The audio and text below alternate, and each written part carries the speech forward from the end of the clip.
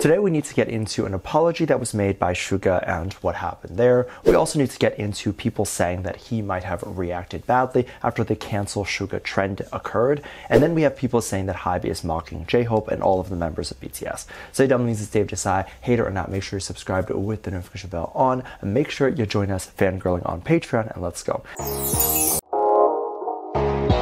Now, it wouldn't be a promotion or a promotion cycle without people saying that it was done incorrectly. So recently, as we know, J-Hope got to release his album and his song, and people are not happy with how it's been released and how it's been promoted. Now, this is one of those things where no matter how a label will do it or how their team will decide to promote something, it's never going to be enough because the fans or the community literally spend the entire day or hour or their entire weeks thinking about how our promotions should be done. So when they see that the BTS members team aren't doing that, the community gets upset. All I have to say about this is if you believe so strongly that a specific way of promotion needs to be done, then go apply to do that job. Go become BTS's publicist, go work for Hybe, work your way up the corporate ladder, and maybe one day you'll work with BTS. But the bottom line is the people who work around BTS and the people who work in the label are people who have many years of experience. They're typically not people that get starstruck very easily, and there are people that are doing this as a job.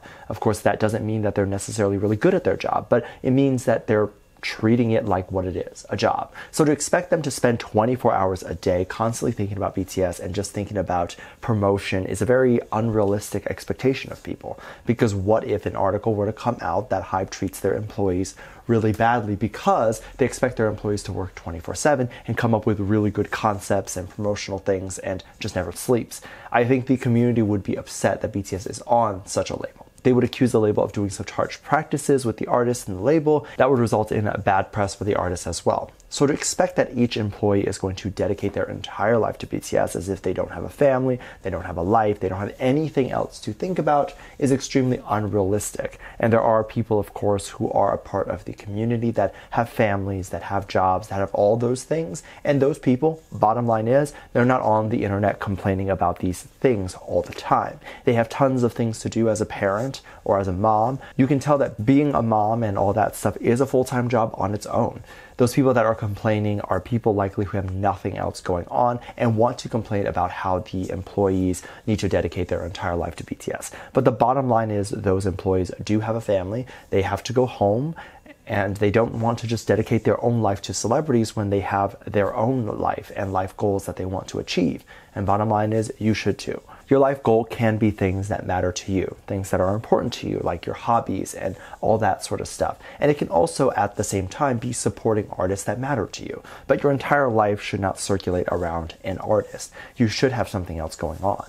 So basically, there's a lot of people saying that J Hope's new release, as well as Jungkook and V, and all of them don't get specific playlists. So, what are the playlists and what is this about? So, other labels within and under Hybe all contribute to this idea of specific playlists or things that can help promote the release. Things like an automatic playlist where it's just all of the artists, music, and fans, and whatever can kind of loop that, and all of that would count towards the chart ranking of the album.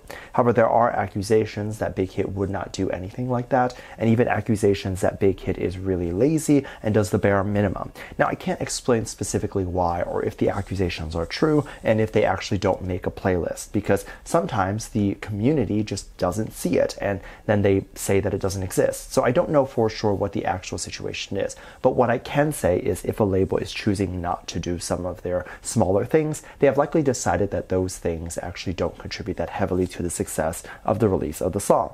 So there's no point in wasting some employee time and resources to do that because that time and resources could be used for other things. So in the time that it might take an employee to create a playlist, they could be sending out a couple more emails to media sites to get more interviews, in which case what is going to be more beneficial, the interview or creating the playlist. I think this goes back to the idea that the community likes to think that the chart rankings and all that stuff is just from the community. And a lot of times when a song is initially released, that is the case. A lot of people from the community buy right away from the first hour or whatever it is and help the song shoot up right to number one. However, once everyone has already bought the song. You can't really rebuy the song, and there's things that are put in place by these chart companies to prevent people from rebuying the song because they want to see the truth of how many people are currently buying this song.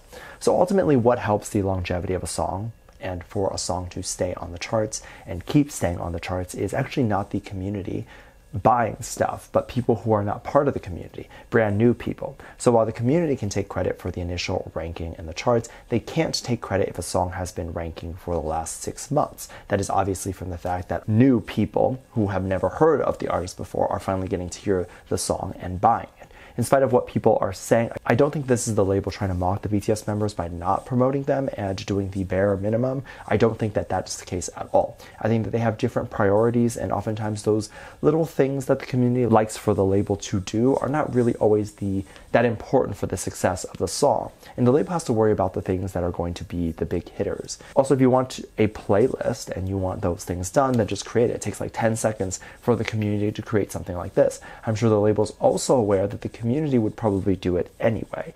Of course, it's very cute to know that the community has the artist back. There's other moments that are absolutely hilarious recently that people have been retrending and re-talking about. This is another way to support the artist, by the way, by keeping their name fresh and keeping the community's social media feeds full of BTS content.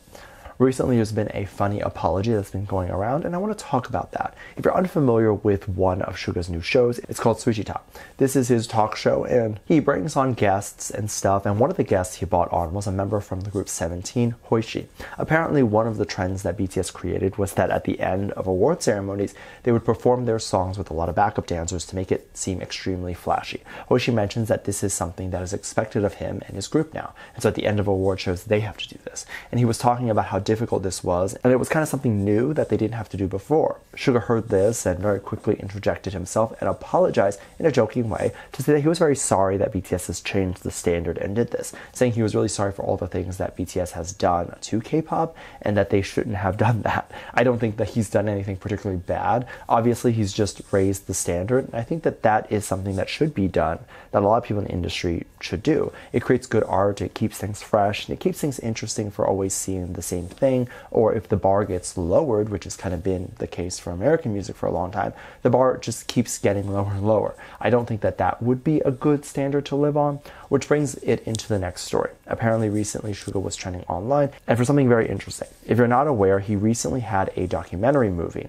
The movie was going to be aired all around the world, so anyone who hasn't been able to experience his tour would be able to just buy a ticket to the documentary and sort of watch it. It was supposed to be streamed all around the world. And when these streaming locations came out, people were very upset as one of the places that it was going to be streamed in was going to be Israel, as people think that this supports a lot of the situation that's going on over there and the bad things that are going on over there. People are objecting and saying that the label needs to rectify this and not stream in that location. This became such a big deal that people were tweeting out the label to cancel Suga's documentary. Keep in mind, his documentary, the title has his name in it. So when people trend the word cancel followed by the documentary name, it's going to appear in the trending as cancel Suga. And I believe this was trending worldwide for a little bit. People were saying that Suga probably would have a really bad reaction to this and wouldn't be happy at all. And others were hoping that he wouldn't see this, and there is a chance that he wouldn't see this, as I don't think he would just go on Twitter. But there's been news reporting on this now, so maybe he has been aware, and I think he is aware that there are people who are objecting to his streaming location. However, we don't know how much he's able to do behind the scenes, and we don't know if he's even able to call the shots and say not to do it.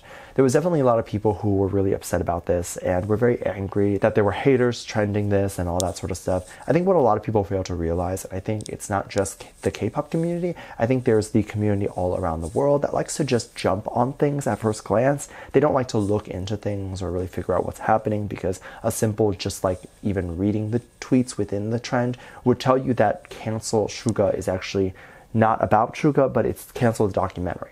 Let me know what you think. Make sure you check out Patreon for more videos. Link down below. Thanks for the comment right here. Love you. Bye.